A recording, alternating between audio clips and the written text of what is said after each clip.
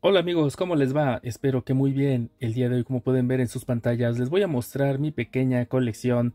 Bueno, hasta donde llegó. Y bueno, me faltó también uno.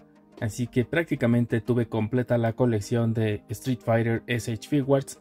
¿Por qué digo prácticamente? Porque como podrán ver aquí hay un hueco. Me faltó el número 12 de estas 12 figuras que conformaban esta colección.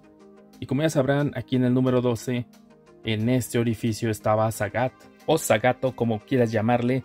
Aquí como puedes ver he colocado mi versión favorita de este personaje. Este personaje no es parte de esta colección ya que el original, cuando lo llegué a tener aquí y a compararlo, simplemente estaba a la altura de estos otros dos personajes, de Balrog y de Vega. Y pues sinceramente su color también era exageradamente anaranjado, era muy flaco. Puedes ver aquí la imagen en pantalla Así se veía ese Sagat y pues nada que ver con este que siento que queda perfecto con esta colección de los SH Figures. Y pues bueno, solamente vamos a hablar ahorita de la colección SH Figures, así que debería de quitarlo de aquí, claro que sí. Ya al final solamente te lo mostraré nuevamente para que puedas ver cómo se vería en esta colección. Por mi parte empezaremos por el número uno de esta colección, una figura bastante bonita. En lo personal desde que lo tuve por primera vez me encantaron todos sus accesorios y toda su forma tanto física como sus detalles de pintura y de articulaciones. Y bueno, aquí viene la número 2, la Chun-Li. Chun-Li en su traje tradicional y típico, una figura también bastante bonita y últimamente muy cotizada. Aquí tenemos la número 3, otra también de las más buscadas, Kami White, que si no has visto el review de estas figuras, pues te invito a que los veas, están todos por su número aquí en mi canal.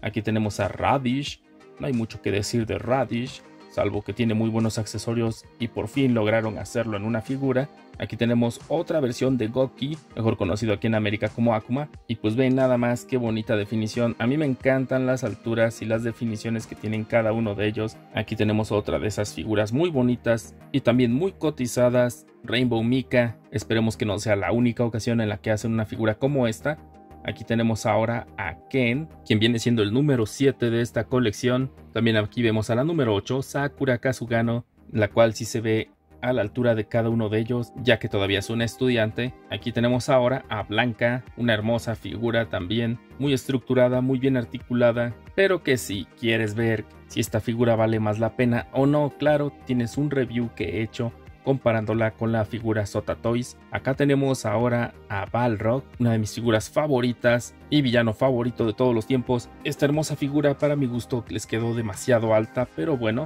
no está nada mal. Aquí tenemos a Vega, aquí en América conocido como Bison, y también es una muy buena figura. Mucha gente no le gustó porque se veía muy delgado, pero a mí me recuerda mucho al primero de Street Fighter. Así que en definitiva, por si no llegaste a ver mis otros videos, te voy a hacer un pequeño resumen de lo que pasó con esta línea.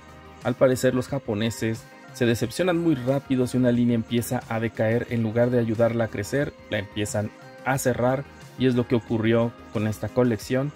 Al parecer estas figuras fueron muy bien aceptadas, a excepción de Radish, y también aquí tenemos una pequeña excepción que podemos ver, por ejemplo, Blanca, a muchos no les gustó, a mí me encantó, a otros no les agradó el hecho de que Balrog estuviera muy alto y lo que a la mayoría terminó de desagradarles fue Vega. A mí me encanta cómo luce, pero deja en los comentarios qué es lo que no te gusta de esta versión. Lo que no les agradó a la mayoría en general, dicen que su altura es muy bajo, que debería haber sido más alto, dicen que debería estar más robusto, pero claro, estamos hablando del Vega del Street Fighter V. En eso les doy la razón, debería de estar más robusto. Sin embargo, parece que se inspiraron del Vega del Street Fighter 2. Y el que terminó de matar la compañía, claro está, aquí lo tienes en pantalla. Este Sagat tan esbelto, tan anaranjado, y tan chiquito comparado con el resto de las figuras, así que simplemente cuando llegó ni siquiera lo grabé, lo vi rápidamente, lo quité de mi colección y en su lugar lo suplanté, claro está, con este hermoso Sagat de la línea Sota Toys.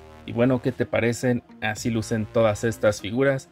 Ya para finalizar, quiero que vean cómo lucen todos allí en un puñito, todos juntitos para la foto. Me gustaría saber, por ejemplo, cuál es tu opinión acerca de esta colección. Déjanoslos en los comentarios y si este video te ha gustado, ya sabes, puedes darle like, puedes suscribirte al canal puedes revisar cada uno de estos personajes que aquí ya tenemos el video y las comparativas correspondientes. Por mi parte me despido, pasen una excelente tarde, una excelente noche, una bonita mañana. Muchas gracias a todos nuestros nuevos suscriptores y a todos los más viejitos. Un abrazo fuerte, ya cada día somos más. Muchas gracias por su atención, nos vemos en el siguiente video. Hasta la próxima.